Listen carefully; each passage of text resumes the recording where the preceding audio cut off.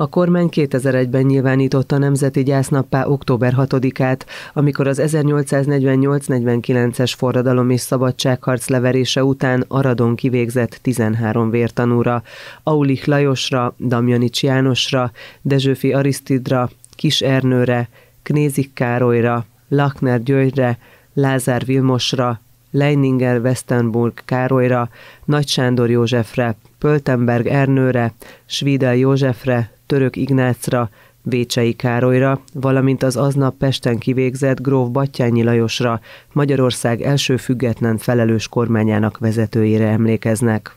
A hagyományokhoz hűen a Jávorotto téri Corpus Hungarikum szobornál néma koszorúzással tisztelektek az aradi vértanúk előtt. Cserpalkovics András polgármester, Molnár Krisztián, a Fejér megyei közgyűlés elnöke, önkormányzati képviselők, civil szervezetek, oktatási intézmények képviselői helyezték el az emlékezés virágait, majd néma főhajtással tisztelektek a hősök emléke előtt.